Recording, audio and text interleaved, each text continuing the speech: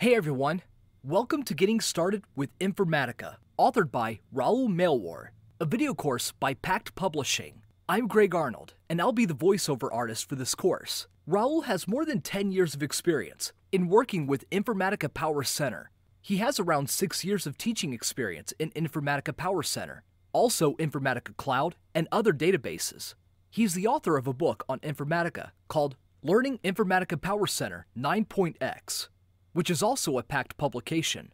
This course will consist of a complete overview of Informatica, including the administration console and information about using various client tools, such as Informatica Power Center Designer, Workflow Manager, Workflow Monitor, and Repository Manager. This video will provide you a glimpse of the entire course. Section 1 We'll talk about downloading Informatica Power Center from Oracle eDelivery.com.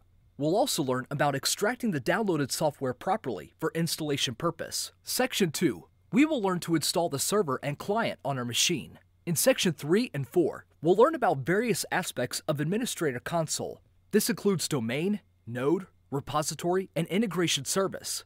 We'll also learn to create user and assign roles and privileges to the user. Section 5. We'll be learning about Informatica Power Center Designer Client Tool. We'll also take a look at the interface of Designer. Also, we'll work on sources and targets as files and databases. Section 6. We'll talk about creating a basic mapping using source and targets. We'll also learn how to add transformations in mapping. Section number 7 includes learning on the second client tool, Workflow Manager. From there, we'll be creating workflow and session tasks. Next, we'll learn to execute the workflow. Also, we'll learn to set up the path and connection for source and target location. Section 9. We'll learn to work on another client screen called Workflow Monitor. We'll learn to check the status of workflow and tasks. We'll also learn to check the session and workflow log.